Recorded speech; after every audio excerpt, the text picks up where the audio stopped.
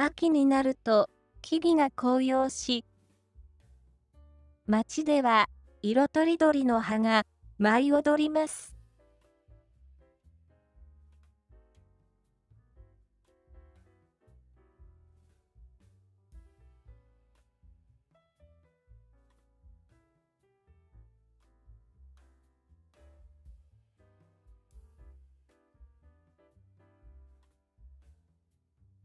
風が涼しく、散歩や運動をする人もいれば、ピクニックをする家族もいます。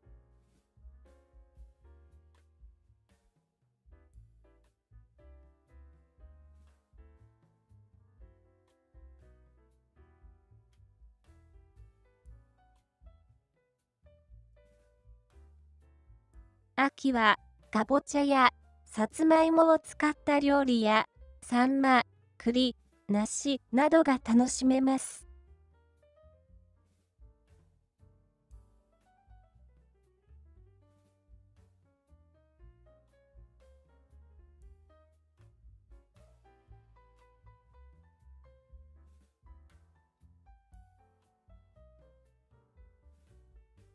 さまざまな農作物が収穫され、新鮮な野菜や果物が市場に並びます。